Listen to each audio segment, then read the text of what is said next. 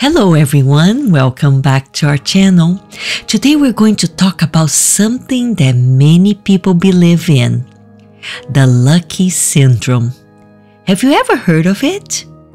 If not, don't worry because in this video we'll explore what it is, how it affects people's lives, and whether it's a real phenomenon or just a myth. So, what is the lucky syndrome? It's a belief that some people are just naturally lucky and that they seem to have everything going for them in life. They win the lottery, get their dream job, find the perfect partner, and so on. And it seems that they don't even have to work hard or put in much effort to achieve all these things. Now, the question is is this true? Are some people really just lucky while others are not?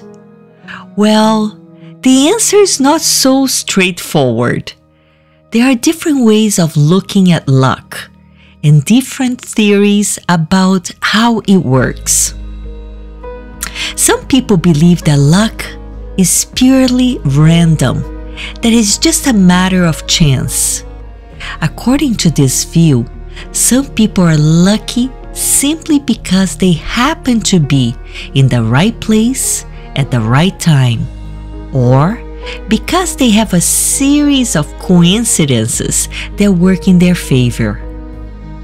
Others believe that luck is not just random, but that it's also influenced by factors such as mindset, attitude, and energy. They argue that people who are positive, optimistic, and open to new opportunities are more likely to experience good luck than those who are negative, pessimistic, and closed off. So, what does science say about the lucky syndrome? Well, there is some evidence to suggest that luck may be a real phenomenon, at least to some extent.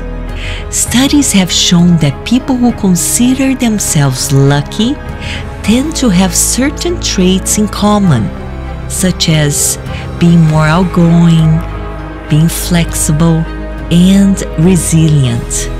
They also tend to be more open to new experiences and more willing to take risks.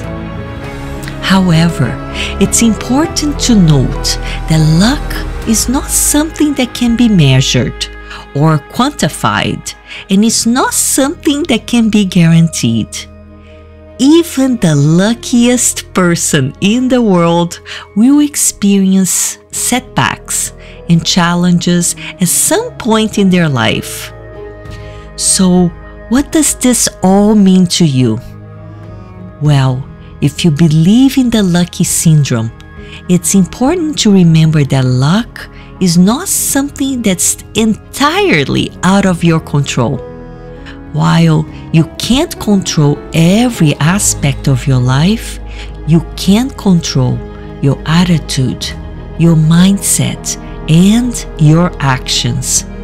By cultivating a positive, open minded, and proactive approach to life, you may be able to increase your chances of experiencing good luck. And if you don't believe in the lucky syndrome, that's okay too. The important thing is to focus on what you can control and to work hard towards your goals, whatever they may be.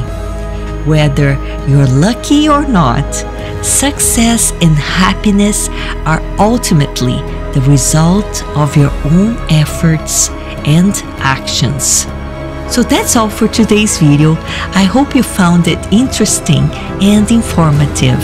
If you have any thoughts or comments, please feel free to share them in the comment section below.